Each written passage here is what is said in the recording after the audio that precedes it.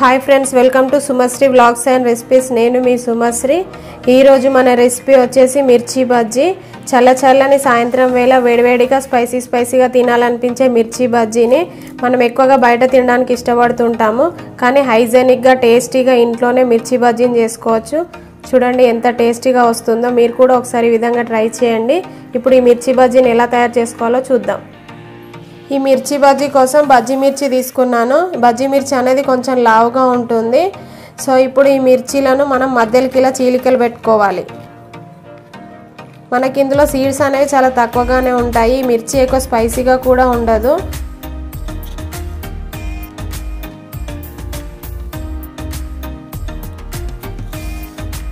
ఒక స్పూన్ సహాయంతో కానీ లేదంటే చాక్తో కానీ మనం ఇలా చీలికలు పెట్టుకోవచ్చు. ఈజీగానే వచ్చేస్తుంది. సో ఇప్పుడు నేను ఒక స్పూన్ తీసుకొని స్పూన్తో మధ్యలోకి ఇలా చీలికలు పెట్టుకున్నాను. ఈ మిర్చి బజ్జీ అనేది మరింత టేస్టీగా ఉండడానికి దీని మధ్యలో మనం కొంచెం చింతపండు గుజ్జును అప్లై చేసుకోవాలి. కొంచెం చింతపండు గుజ్జు తీసుకున్నాను. ఇందులో ఒక హాఫ్ టీ స్పూన్ జీరా పౌడర్ ఒక హాఫ్ టీ స్పూన్ ధనియా పౌడర్ వేసి దీన్ని బాగా కలుపుకొని మనం ఇందాక చీలికలు పెట్టుకున్న మిర్చిలోనికి స్టఫ్ చేసుకోవాలి. దీన్ని ఇలా స్టఫ్ చేసుకోవడం వలన మనకు మిర్చి అనేది తినేటప్పుడు పుల్ల పుల్లగా చాలా స్పైసీ స్పైసీగా టేస్ట్ చాలా బాగుంటుంది. సో అందుకని ఇలా చింతపండు గుజ్జుతో నేను ఫిల్ చేసుకుంటున్నాను.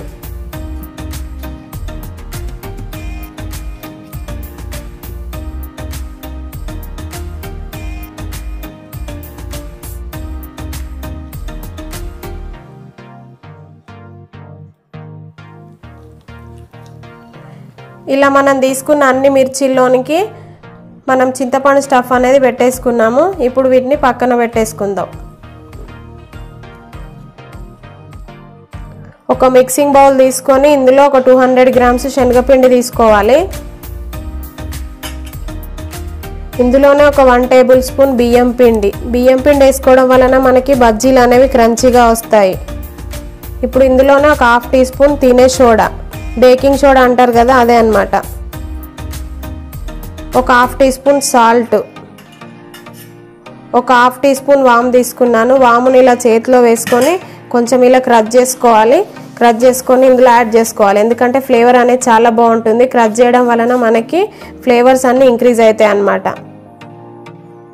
ఇప్పుడు ఈ పిండిని ఇలా బాగా కలుపుకొని వాటర్ పోసుకొని మనకి ఫ్లోయింగ్ కన్సిస్టెన్సీ వచ్చేంత వరకు కలుపుకోవాలి. మరీ ఎక్కువ లూజుగా కలుపుకోకూడదు. ఎందుకంటే మనకి మిర్చీలు వేసుకునేటప్పుడు కొంచెం కష్టం అవుతుంది మనకు పిండి అనేది రెడీ అయిపోయింది. ఈ కన్సిస్టెన్సీలో ఉంటే సరిపోతుంది. ఎందుకంటే మనం వేసేటప్పుడు మిర్చీలకు పిండి బాగా పట్టుకోవాలి కాబట్టి మరీ ఎక్కువ లూజ్గా చేసుకోకూడదు.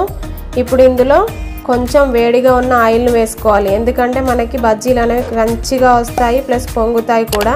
సో అందుకని కొంచెం వేడి ఆయిల్ వేసాను.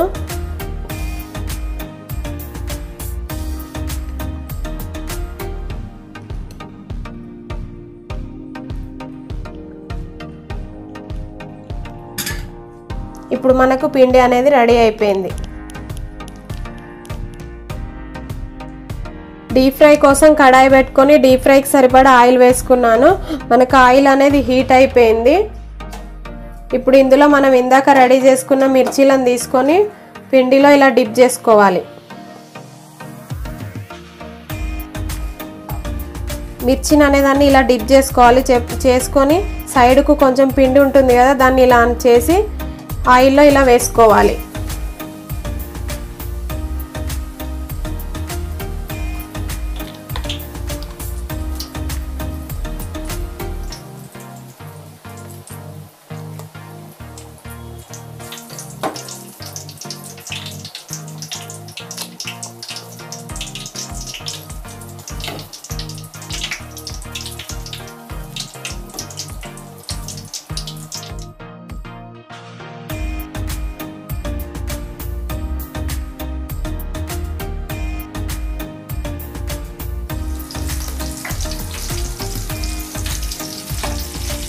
ఇప్పుడు బజ్జీలు అనేవి ఒకవైపు ఫ్రై అయిపోయినాయి నిదానంగా రెండో వైపు తిప్పుకుంటూ ఫ్రై చేసుకోవాలి.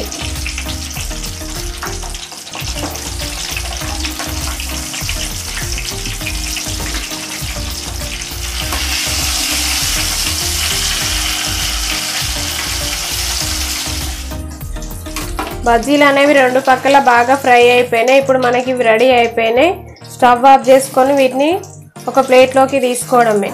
ఒక టిష్యూ పేపర్లు ఉన్న ప్లేట్లోకి వేసుకుంటే ఎక్స్ట్రా ఆయిల్ ఏదైనా ఉంటే టిష్యూ పేపర్ పీల్చేసుకుంటుంది సో ఆయిల్ అనేది మనకు చాలా తక్కువగా కనిపిస్తుంది.